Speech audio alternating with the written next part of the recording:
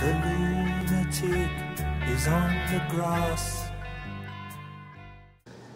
Um, as it's been known before, I check like executive orders and and things. Well, executive order, we had one come out June 3rd, and it's putting more sanctions. I'm going to put it here.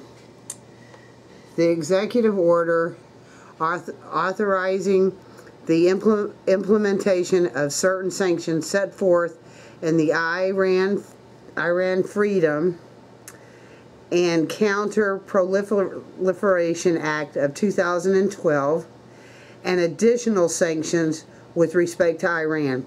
This is becoming bullshit. We have no we we have no say so in what Iran does. This is getting ridiculous. Another executive order. I'm going to leave the link. You can read it. It's pretty much financial.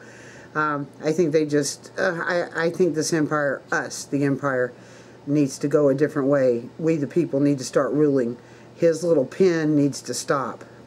Uh, and his little wife needs to stay out of the public view. She's no um, star.